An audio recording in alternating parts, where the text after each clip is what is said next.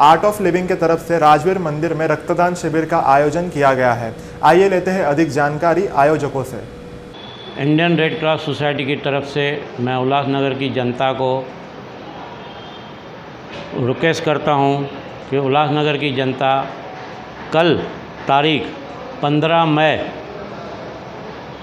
सुबह को 9 बजे से लेके ब्लड डोनेशन कैंप जो कि राजावीर मंदिर उल्लासनगर तीन कंवरराम चौक में रखी गई है।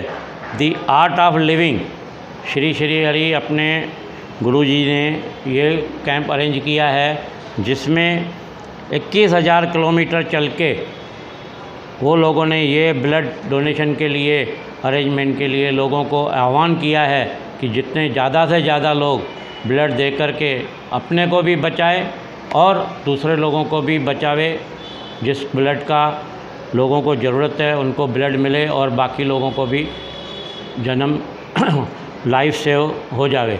इसके लिए मेरा उल्लासनगर की जनता को आह्वान है कि ज़्यादा से ज़्यादा संख्या में लोग आकर कल राजावीर मंदिर में आकर के अपना डोनेशन ब्लड डोनेट करें।